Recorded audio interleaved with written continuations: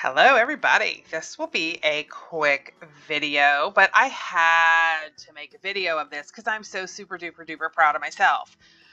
I am making my very first mega, and let me explain something to you guys. I know a lot of people out there just maybe build or make one neon and then buy neons and then make a mega, or even just buy a mega or trade. I'm sorry, not buy, but trade so I am. Oh, there's Bloxbrand with his little puppy dog.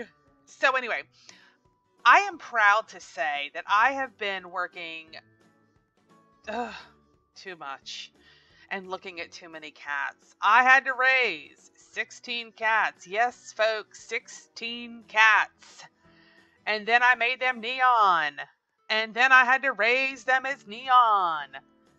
And now is the time that they become a mega. I know you guys are probably like, yeah, no one cares. It's a cat. But you know what? It's a mega. And I busted my butt looking at these cats for like two weeks trying to make them all. I didn't buy my way through it. No, I didn't.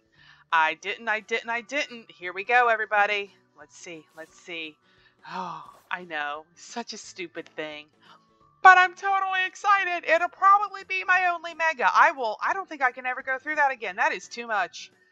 That is too much work to make a mega. I can see why people just trade for the neons because it's a lot easier. Uh, yeah, a little bit.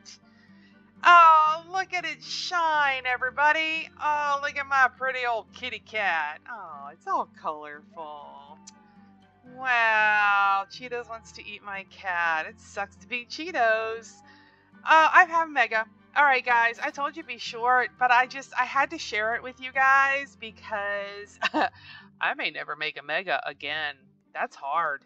It's hard enough making one Neon, let alone four.